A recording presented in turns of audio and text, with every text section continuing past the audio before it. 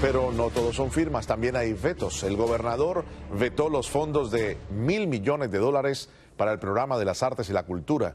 Y la denuncia la presentó el grupo Arts Garage, quien dice que por diferentes vías la gobernación está acometiendo los recortes que en su caso le hacen perder unos 100 millones de dólares.